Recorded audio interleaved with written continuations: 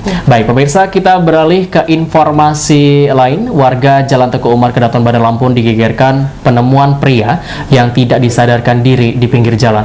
Warga menduga pria anonim ini korban tabrak lari. Inilah kondisi pria anonim yang tergeletak dan tidak sadarkan diri di Jalan Tengku Umar, Bandar Lampung, tidak jauh dari markas Korem 043 Garuda Hitam.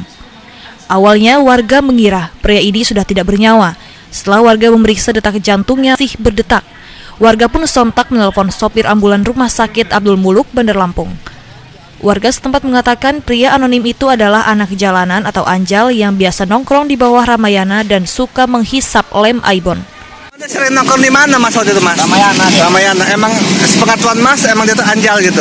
Ramayana di Batang Abdul Muluk ini sih nongkrongnya. Oh gitu ya. Tadi dia tahu nggak jatuhnya kenapa dia tuh? Gak tahu kalau capek. Waktu sudah kelepak gitu ya? Gak tahu, waktu rame-rame gini nyampe ya. Oh gitu. Dia nggak nggak bawa motor kan? Gak tahu.